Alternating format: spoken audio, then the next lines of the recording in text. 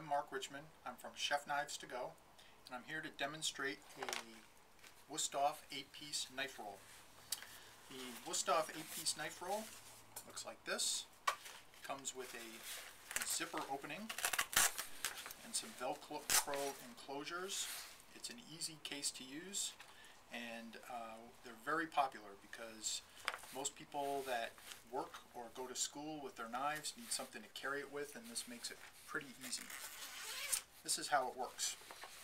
This particular case has a flap that opens up and you can take your knives, put them in a, a knife sheath or a knife holder of some kind.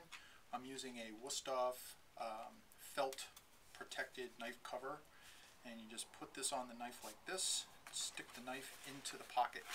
This particular one has eight pockets. You zip it shut, and then you fold it up.